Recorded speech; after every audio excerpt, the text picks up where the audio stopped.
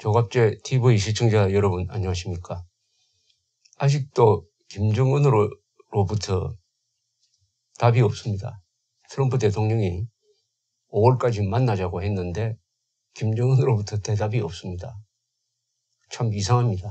그런 사이에 한국의 특사는 미국 방문에 이어서 중국, 일본, 러시아에 가서 김정은의 메시지를 전달한다고 합니다. 본인은 입을 다물고 있는데 그 대리인들이 열심히 뛰고 있는 격입니다.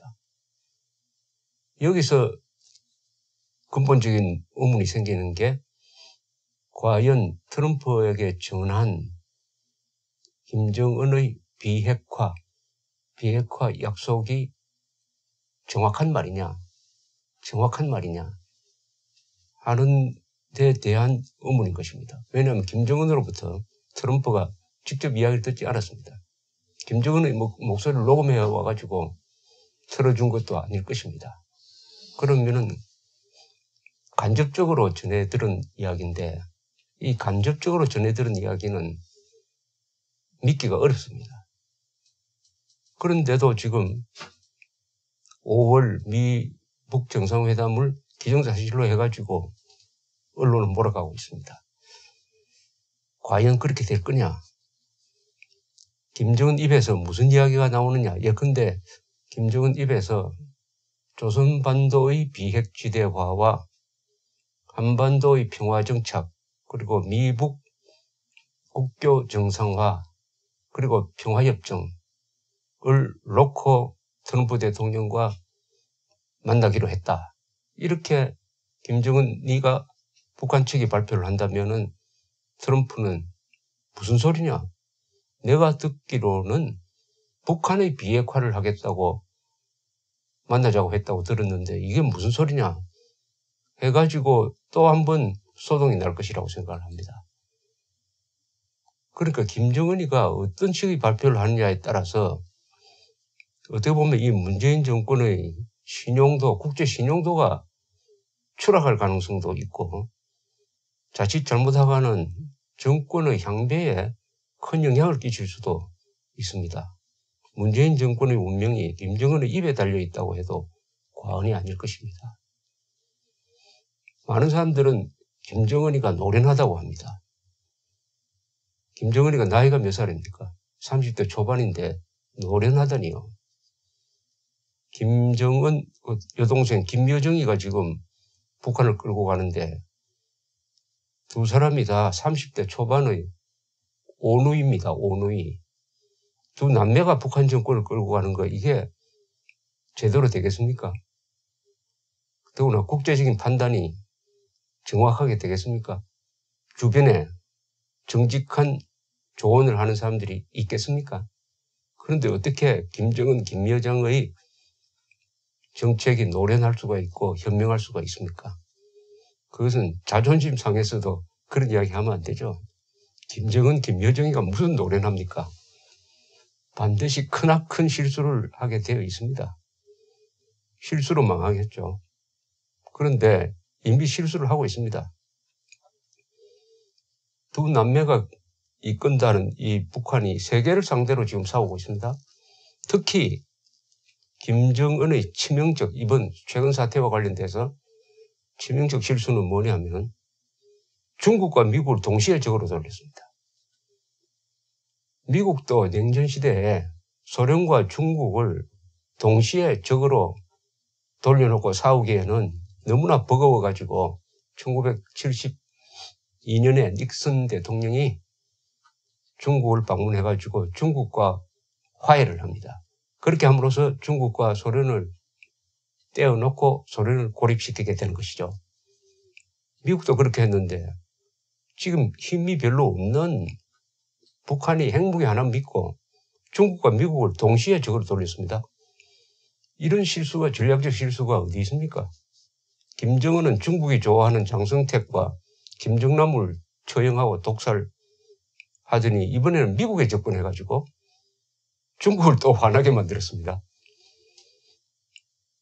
시진핑은 북한으로부터 직접 이야기를 들어야 되는데 한국 특사로부터 김정은의 생각이 이렇다는 이야기를 듣고 있으니까 얼마나 자존심이 상하겠습니까? 그런데 지금 효과가 나오고 있다는 이 대북 제재는 실질적으로 누가 하는 거냐면 중국입니다. 중국의 대북 제재입니다. 미국이 제재를 풀어주고 싶어도 중국이 싫으면 안 되는 겁니다. 그렇다면 김정은은 트럼프를, 트럼프하고 만나러, 만나자고 하기 전에 시진핑을 먼저 찾아가 만나야 되죠. 그런데 중국을 화나게 하고 트럼프의 말하자면 미소 작전으로 나오고 있습니다. 시진핑을 소외시키려고 합니다. 둘 다 실패할 가능성이 많죠. 둘 다 실패하면은 김정은은 그냥 몰락하는 겁니다. 그렇다면 중국과 미국이 뒷거리를 해가지고 완전히 새로운 한반도 질서를 만들겠다는 구상을 하게 될 것입니다. 중국이 북한에 대하여 돈줄과 기름을 끊고 있다는 것은 동맹이 실질적으로 파기되었다는 뜻입니다. 상대에 대해서 돈줄 끊고 기름 끊는다는 것은 상대를 적으로 본다는 뜻입니다. 중국 시진핑은 김정은은 한 번도 만난 적이 없는데 한국의 박근혜 문재인 대통령은 여러 번 만났습니다. 그러니까 김정은이 미국에 접근할수록 중국의 대북 제재는 더 강해질 가능성이 있습니다.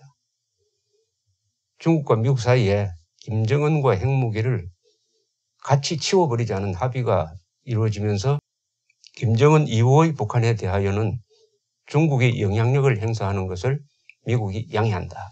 이런 합의도 이루어질지 모릅니다.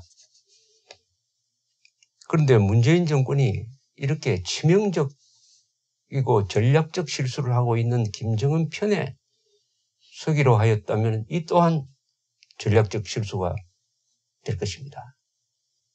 김정은이가 석은 새끼줄이라는 표현을 쓰는데 인수봉을 오르는데 문재인 정권이 김정은이라는 썩은 새끼줄을 잡고 인수봉 꼭대기 가가지고 거의 연방제 통일이라고 꽂혀 있는 그 정상으로 오른다는 계획을 세웠다면 김정은 문재인 정권이 동시 추락할 가능성이 있다.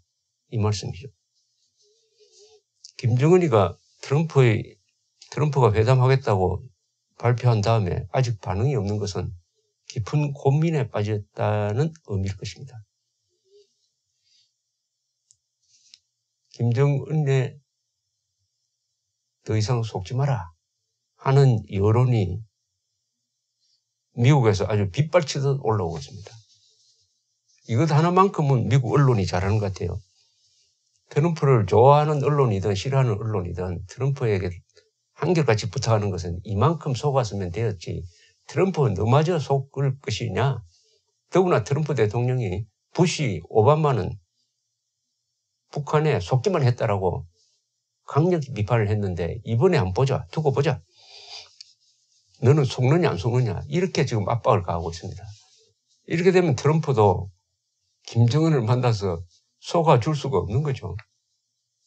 아마 상당히 높은 요구를 하게 될 가능성이 어, 있습니다. 거짓말로 망한 흥한 정권은 거짓말로 망하게 되어 있습니다. 공산주의자는 거짓말쟁입니다. 거짓말이 제일 중요한 정책 수단인데 지금까지는 잘 통했어요. 북한 주민들이 그 거짓말에 속아 넘어가고 남한의 이 좌파 세력이 김정은의 거짓말에 속아 넘어가 주고 하니까 다른 나라도 등달아 속아 넘어갔는데 이제는 한 30년 속다가 보니까 아이고 이제는 북한이 무슨 말을 하든지 믿을 수 없다 하는 여론이 형성되었습니다. 링컨이 한 유명한 말이 있습니다. 사람은 사람을 상대로 거짓말을 할 때 일부 사람을 속일 수는 있다. 그리고 일시적으로 사람을 속일 수는 있다. 그러나 모든 사람을 항상 속일 수는 없다. 이런 말을 했습니다. 이제 북한 노동당 정권의 거짓말과 거기에 연계된 남한 종북 좌파의 거짓말이 이제는 신물이 나고 실정이 나고 해서 더 안 속게 되는 순간까지 지금 왔다는 생각이 듭니다. 링컨은 이 정직한 사람입니다. 링컨의 별명이 정직한 링컨이라는 뜻인데 링컨은 거짓말에 대해서 명을 많이 남겼는데 이런 말도 했습니다. 아무리 머리 좋아도 성공적인 거짓말쟁이가 될 정도의 기억력을 가질 수는 없다. 뭐냐면 거짓말을 하면은 꼭 그 거짓말을 한 걸 기억해 놓아야 합니다. 왜냐하면 다음에 거짓말 할 때 앞에 거짓말하고 모순되는 이야기를 하면 안 되거든요. 근데 얼마나 그걸 다 기억을 하겠습니까? 거짓말을 한 사람도 나중에 자기 거짓말한 걸 기억 못 하면은 거짓말이 들통이 나는 것입니다. 세계를 상대로 거짓말을 하는 순간 세계의 노예가 된다는 말도 있습니다. 어떤 사람이 누구한테 거짓말을 했는데 들통이 나버리면은 노예가 된대요. 노예가 된대.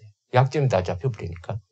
북한 정권이 지금 그동안에 세계를 상대로 거짓말을 하다가 이제 들통이 나는 순간 세계의 노예가 될 것이다. 북한 정권이 이제 세계의 노예가 될 것이다. 북한 정권이나 남한의 종북 좌익 세력들이 거짓말을 할 때 수법은 진실과 거짓말을 섞는 것입니다. 그것을 half truth라고 합니다. 반쪽 진실. 반쪽 진실은 거짓말 중에서 최악의 거짓말입니다. 새빨간 거짓말보다 반쪽 거짓말이 가장 심한 거짓말입니다. 거기에 많은 사람들이 속아 넘어갑니다. 그래서 조지 오웰이 이야기하기를 진실이 판치는 세상에서는 거짓이 판, 제가 거꾸로 이야기하고 있습니다. 거짓이 판치는 세상에서는 진실을 말하는 것이 혁명이다라고 했습니다. 한국에서는 촛불혁명이라고 이야기를 하는데 촛불혁명보다는 진실혁명이 진짜 혁명이죠.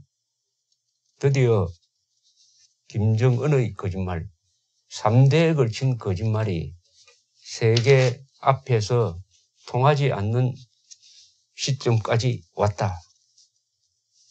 거짓말로 망하는 흥한, 거짓말로 흥한 북한 정권이 거짓말로 무너질 것인데 그 김정은과 김정은의 거짓말을 도와주는 또는 김정은의 거짓말을 전달해주는 김정은의 거짓말을 널리 퍼뜨리는 확성기, 대리인, 변호인의 역할을 문재인 정권이 한다면은 그 운명 동안 김정은 정권과 같아질 것이다. 이렇게 보입니다. 김정은은 치명적이고 전략적 실패를 하고 있다. 이렇게 정리하겠습니다. 감사합니다.